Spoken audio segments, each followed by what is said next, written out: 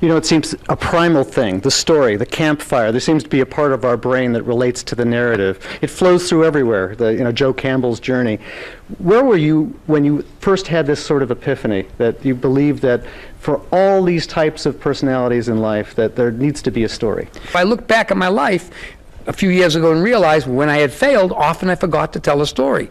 When I had failed and had pain, often I had the wrong story. When I was moved, I was often moved by the right story. And when I told it forward, I was often a winner, even using somebody else's story and advocating them. So I began to realize that that was a piece that had been really dropped from the language in business school, in film school. So the whole conceit was how does it work? How come? How come it works that way? You put all of mankind on one year timeline, all 100,000 years in one year timeline.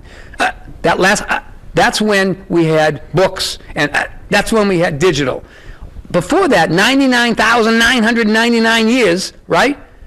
Everything was oral narrative. Everything was the power around the campfire. Why is that so? Because we're wired that way. Our DNA is that way. It's in us. It's the way we see life. If we didn't bond information with emotion, it wouldn't be memorable, resonant, and actionable. All those facts, figures, data, beliefs, rules. The Bible, the Koran, the Torah, every single instrument that you think that has tradition behind it is born out of oral narrative. It's only couple of hundred years ago that we had published books. Before that, it depended upon the campfire for social cohesion. That's how we got from the bottom of the food chain to the top. And it's inside of us. And using it purposefully for what you want others to do, for what you want others to vote for, join, buy your products, it is the secret sauce. And it's everywhere. Why we don't venerate it is beyond me. So my mission was show everybody it's inside them, and it's a tool waiting to leap into action to fulfill their goals happily. I'm trying to picture you as you made your journey around the world too to validate some of this. I remember when you went to Africa. What right. did you learn when you were with the, the primitive people who were sharing that oral history, like as goes on all over the world? You know, I went to New Guinea, in the interior New Guinea, and listened to the shamans there talk, and they don't have any written language, they have some storyboards, and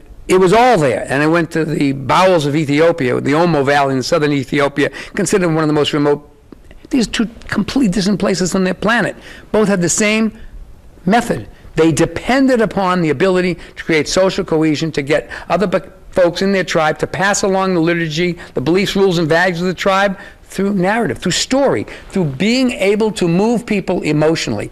Think about all the leaders that we elect. They got to move you emotionally. You know, just the facts, ma'am, just the facts. That went out with Dragnet. You know, the idea is it's emotional transportation. So when you have a product, a brand, a leader, if they want to get advocates, apostles, not just transactions, but relationships, they have to know how to emotionally move them. And narrative, storytelling, oral storytelling, breathing the same air, being in the same room, looking them in the eye, pressing the flesh, and then telling purposeful stories is the key to it all.